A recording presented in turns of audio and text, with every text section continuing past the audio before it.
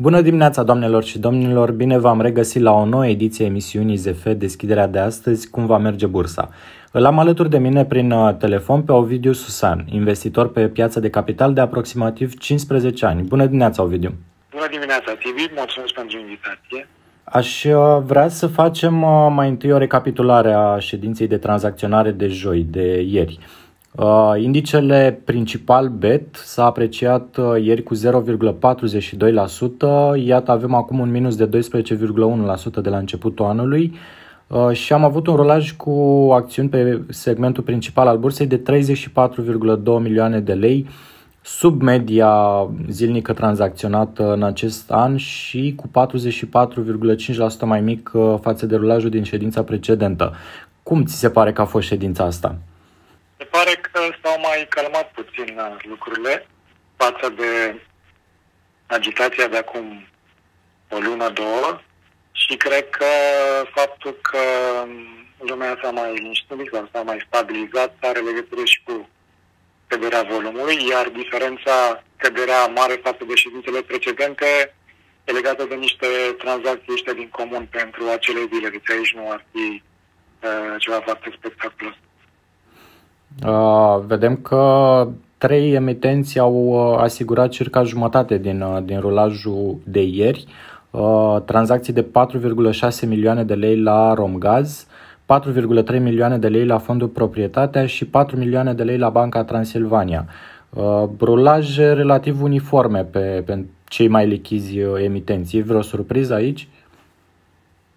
Nu mi se pare a fi vreo surpriză. Dacă mă uit și la fluctuațiile cotației, sunt fluctuații foarte mici. E cumva în marja suspecțiilor de serviciu, cum m-am mai exprimat și uh, în alte intervenții. Nu mi se pare că ceva foarte important de observat sau comentat. În uh, topul creșterilor s-a aflat uh, pe primul loc Transelectrica, un plus de 3% al acțiunilor, rulaj de 828.000 de lei, Cemacon Cluj, o creștere de 3% pe rulaj de 79.300 de lei și Electrica, un plus de 1,4%, rulaj de 482.483 de lei. Uh, la polul opus, Prebeta Iud a scăzut cu 3,2%, rulaj de 55.200 de lei. Turbomecanica a avut o scădere de 1,5% pe rulaj de 89.790 de lei și fondul proprietatea o scădere de 0,8%, rulaj, cum am spus și mai devreme, de 4,3 milioane de lei. Uh, ce poți să spui de topul creșterilor și al scăderilor? În ceea ce privește topul creșterilor, observăm că sunt uh, două companii din uh, categoria utilități publice care, în general, au dus-o mai bine în perioada asta a scăderilor și influențelor uh, pandemice și un emitent din sectorul construcții, materiale de construcții. M-am uitat la fiecare și cred că la fiecare au fost și niște știri care pot justifica mișcările. De exemplu, la, la Transelectrica a fost uh, o AGA în care s-a aprobat o majorare de capital social cu aport în natura unor terenuri. Ar putea ca ăsta să fie un factor care a contribuit la, la creșterea cotației. În ceea ce privește cemaconul, acolo au fost niște achiziții ale insiderilor uh, și astăzi și în zilele precedente unei persoane din, din cadrul Pavel Holding, cred că a făcut niște achiziții acolo și ar putea fi una dintre explicațiile care au dus la creșterea cotației. Probabil că investitorii au fost impresionați pozitiv de aceste achiziții și s-au gândit că e un moment bun să-și crească și ei deținerile. Nu știu, aici este pur și simplu o speculație, doar o bănuială. Iar în ceea ce privește electrica, Um, n-aș putea să indic o cauză exactă. Știu că au aprobat printr-o, tot printr-o decizie AGA unificarea prin fuziune a unor companii din grup. Dar nu a zice că asta ar avea vreo influență prea mare asupra bunăstării grupului sau suficient de mare încât să justifice o creștere. Dar e posibil și am, am ales să vorbim astăzi mai multe despre Teraplast, dat fiind faptul că în, ultima, în ultimele ședințe au fost raportate câteva tranzacții importante cu acțiunea ale emitentului. Vedem că fondurile de pensii NN și-au majorat participația de la 7% la 11,6%. De asemenea, fondurile Allianz și-au majorat deținerea la 6,5%. Nu știm cât aveau înainte pentru că Uh, aveau sub 5% uh, și au mai fost alții 18 investitori, dar mai mici, care au cumpărat uh, dintr-un pachet, se pare pus la vânzare de o companie din Ungaria, un, care fabrică mase plastice, care și-a făcut ex, exit-ul din companie pentru aproape 30 de milioane de lei. Ce semnal dă, dă, dau aceste tranzacții investitorilor? Ar fi interesant uh, de aflat uh, cine sunt proprietarii companiei din Ungaria și probabil că asta ar putea să și clarifice o parte din motivații. Um, dar presupunând că a fost uh, o investiție a companiei din Ungaria, ieșirea ei probabil că arată că calculele legate de valoare au ajuns undeva la un plafon care mă rog, le satisface așteptările. Dar cred că vânzătorul este mai puțin important și e mai important cumpărătorul, cel puțin în acest caz, cumpărătorii fiind în principal fondurile de pensie, așa după cum am văzut NN și Allianz. Asta, pe ansamblu, din punctul meu de vedere, poate fi interpretat ca un semnal pozitiv pentru companie. Iată că fondurile de pensii își cresc expunerea pe, pe Teraplast din câte țin o minte, conform unor calcule făcute tot de ziarul financiar, la sfârșitul anului 2019, cam 10% din Teraplast erau deținute de fondurile de pensii împreună, din care cei mai mari erau tot NN și AZP, parcă. Da, da, da, exact. Da. Deci, acum cu aceste achiziții, cred că s-a cam dublat expunerea fondurilor de pensii totală pe Teraplast și uh, se ajunge la un aproximativ 20%.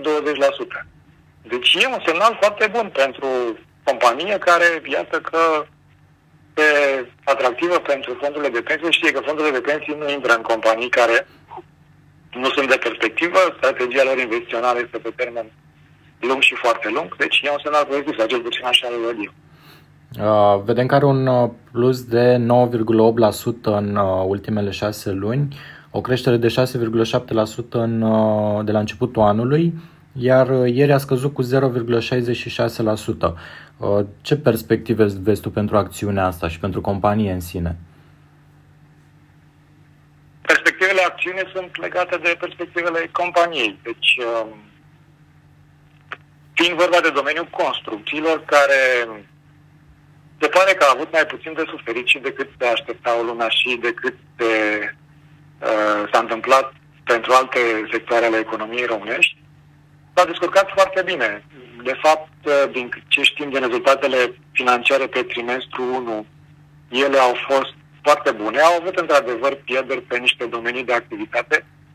După cum știm, sunt destul de diversificați în domeniul materialelor de construcții, produc uh, panouri termoizolante, țiglă metalică, uh, tubulatură, pentru instalații, profile, ferete și mai departe, deci produc mai multe lucruri și au și mai multe companii în, în grup. Pe unele, într-adevăr, au, au înregistrat niște rezultate mai slabe, și anume pe cele care au legătură directă cu consumatorul final. Și aici vorbim de partea de țiglă metalică, adică Veterbest, și de partea de uși ferestre, regăsită în cadrul Teraglas, o companie a grupului. Dar uh, rezultatele mai slabe de aici au fost mai mult decât compensate cu rezultatele mai bune din celelalte companii ale grupului, anume pe partea de panouri termoizolante, care se regăsește la Terastil, și pe partea de uh, instalații, textublaturi, care e la uh, Teraplast PSA, compania mea. Deci au avut rezultate bune pe, pe trimestru 1 și din uh, comunicări ale pe companiei chiar recente de zile astea, am văzut că rezultatele, inclusiv pe trimestrul 2, sunt bune. Din ceea ce ne comunică CFO-ul companiei acum vreo câteva zile, înțelegem că vânzările pe aprilie sunt aproximativ la nivelul anului trecut, ceea ce e destul de bine, nu e destul de bine, este foarte bine, iar în mai, cel puțin până la momentul comunicării, chiar mai bune decât anul trecut. Asta ca și cifră de afaceri și tot CFO-ul, doamna Anabita, completează spunând că partea de profitabilitate este semnificativ îmbunătățită. Deci, probabil că au tăiat din costuri și, pe ansamblu, dacă stai și cântărești în condițiile actuale în care foarte multe domenii sunt uh, închise, de fapt nu foarte multe domenii, foarte multe companii sunt afectate, unele domenii sunt închise, să obții un semestru, unul pe ansamblu uh, bun sau chiar mai bun decât anul trecut, e ceva de laudă și probabil că asta nu poate decât să încurajeze investitorii. Așa se justifică probabil și creșterile din ultima perioadă, 8-9%, iar scăderea de, de ieri probabil că are legătură cu marcarea unor profituri și cu diferența dintre cotația zilei pe piața deschisă tuturor investitorilor și cotația la care s-a făcut uh, dealul cu fondurile de pensii. Cotația a fost de 0,28 cotația dealurilor și uh, cotația din piață este un pic mai sus. Ar putea ca aici să existe o marcare de profit a celor care au participat la, la acea vânzare. A unora, mai ales a celor mici, probabil. Înțeleg. Uh, în afară de Teraplas, vedem că la Cemacon, așa cum, uh, cum ai spus și tu, sunt uh, niște tranzacții, niște răscumpărări prin uh, Pavel Holding, un vehiculul de investiții al uh, fraților Pavel, de altfel acționarul majoritar al uh, companiei. Uh, vedem la Prodplast că Florin Pogonaru, președintele Asociației Oamenilor de Afaceri din România, a intrat în acționariatul companiei cu 10%, iar pe de altă parte și CEO-ul companiei a cumpărat acțiuni și a majorat deținerea de la aproape 2% la 9,4%. Crezi că zica la aceasta Sell in May and Go Away se aplică în acest an? mă îndoiesc. E un an uh, diferit, nu e un an uzual. Dacă ne uităm la cum a început, uh, nu știu dacă putem să stăm foarte liniștiți și relaxați pentru restul lui. Da, ceea ce mm, spui arată că în cadrul mai multor companii din domeniul construcțiilor s-au produs niște mișcări prin acționariat Asta cred că e un semn pozitiv până la urmă. Um, desigur, rămâne întrebarea de bază în legătură cu domeniul construcțiilor, cum va fi afectat acest domeniu mai târziu, mai pe finalul anului sau chiar la anul, pentru că știm cu toții sau putem, uh, ne putem gândi că domeniul materialelor de construcții se duce încă bine pentru că o mare parte din șantiere au funcționat în continuare, dar nu știm cât de multe șantiere noi vor mai fi deschise. Sunt deja semnale în piață că cele care sunt la început ar putea să fie temporizate, să încetinească ritmul investițiilor până când lucrurile devin mai clare la nivel de economie.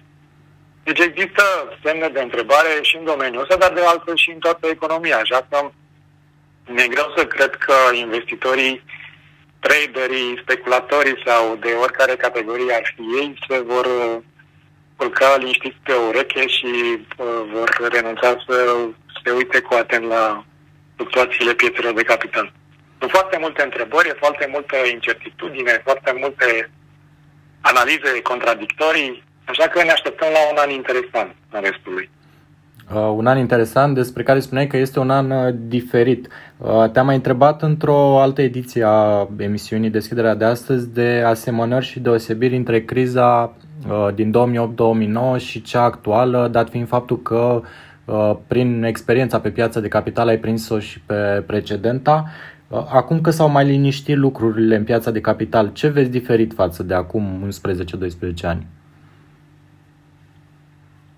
Dacă ne referim strict la piața de capital, acum trebuie să înțelegem că piața de capital nu este economia și uh, viceversa. Deci, piața de capital este doar o, o oglindă, de multe ori distorsionată, sau de fapt în majoritatea cazurilor distorsionată a evoluției economice și dacă plecăm de la premisa asta, înțelegem mai bine de ce piața de capital nu se mișcă aproape niciodată după niște așteptări simpliste și după niște reguli clare și aproape niciodată direct proporțional cu economia. Sunt o felul de așteptări, percepții viitoare.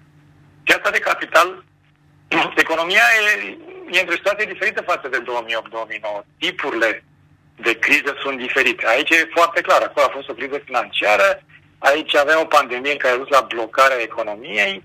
Uh, lucrurile sunt clar diferite. Din punctul de vedere al felului în care reacționează piața de capital, eu sincer nu văd foarte mari diferențe. Piața de capital anticipează. Atunci a anticipat o revenire mai târzie, acum anticipează o revenire mai rapidă. Are motive să facă asta sau nu are? E un debate continuu între investitori, analiști, toți cei care participă la fenomen. Foarte mulți justifică evoluția foarte bună a pieței de capital din uh, ultima perioadă, ultima lună, două, prin uh, injecția masivă de lichidități pe care o fac toate băncile centrale. Și cred că teoria este destul de plauzibilă. Într-adevăr, piața de capital tranzacționează niște așteptări viitoare. Sunt și niște lucruri diferite și ele țin de viteza de reacție a pieței de capital. Din punctul meu de vedere, și de fapt nu numai din al meu, eu doar constat puncte de vedere uh, mai amănunțite ale altora, structura piețelor de capital s-a schimbat destul de mult în ultimii 10 ani de zile. Dacă în 2008, 2007, 2009, atunci, automatizarea, felul în care se executau tranzacțiile um, cu ajutorul algoritmelor de tranzacționare, era încă într-o fază incipientă. Acum, tranzacțiile automatizate sunt cele care domină toate aceste piețe. Există puzderie de algoritmi de toate felurile, în primul rând de tip arbitraj, care fac ca orice evoluție în oricare din colțurile lumii să fie imediat preluată, extrapolată și să se poată regăsi în celelalte colțuri ale lumii.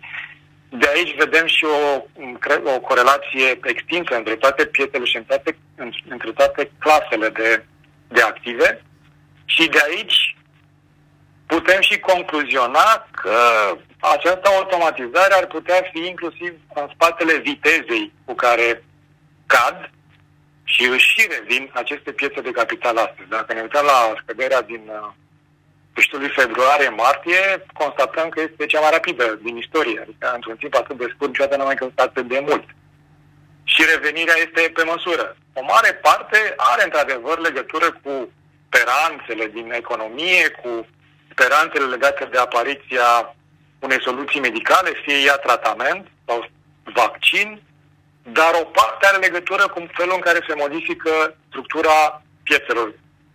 Au legătură cu felul în care funcționează aceste piețe, care sunt din ce în ce mai, ce mai automatizate. Cel puțin pe termen scurt, uh, partea de trading manual este dispărută. Din, uh, din discuțiile pe care le ai cu investitorii sau pe care le-ai observat pe forumuri, pe grupuri de investitori, care e sentimentul în piață? Au perspective pesimiste sau optimiste? Părerile sunt împărțite. Cred că cea mai pregnantă părere este aceea de confuzie. Lumea nu prea înțelege și pe bună dreptate. Uh, și uh, aș putea să fac o glumă și să, și să spun că una dintre replicile cu care uh, ne amuzăm pe diferi, în diferite discuții este uite, criza nu e criza.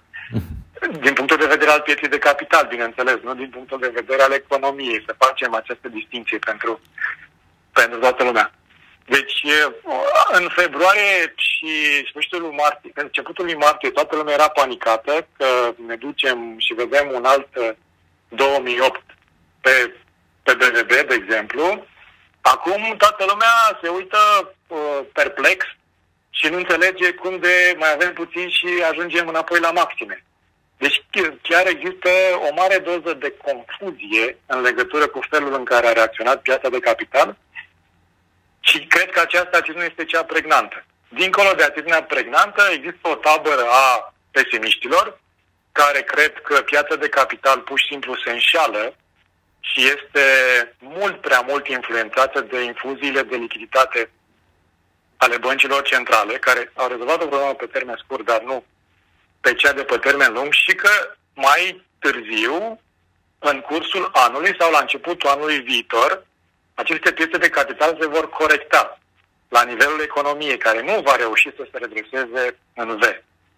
Și există o, o tabără ceva mai mică a optimiștilor care cred că s-ar putea să ne îndreptăm chiar înapoi spre maxime. În ceea ce mă privește, eu cred că nu este atât de important să stabilești în ce tabără ești, pentru că nu ai nevoie ca și investitor, nici măcar ca și speculator. Din moment ce lucrăm cu atât de multe informații lipsă și de fapt încercăm să analizăm un puzzle în care foarte multe piese lipsesc, nu este nevoie, paradoxal poate părea pentru uh, mulți dintre, dintre investitori, nu este nevoie să știi atât de exact și nici măcar să încerci să prognozezi atât de exact dacă piața va crește neapărat până la sfârșitul anului sau nu.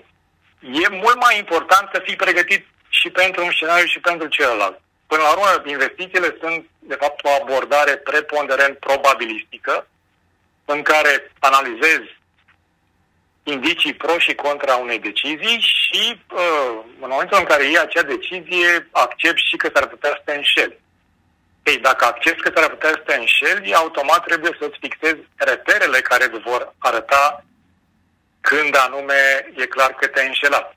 Și dacă procedezi așa, e clar că te poți poziționa pentru oricare dintre scenarii.